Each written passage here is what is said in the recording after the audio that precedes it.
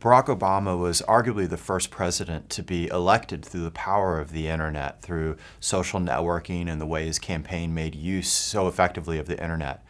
But if he doesn't watch out, history will record that the internet was changed and maybe even lost under his watch.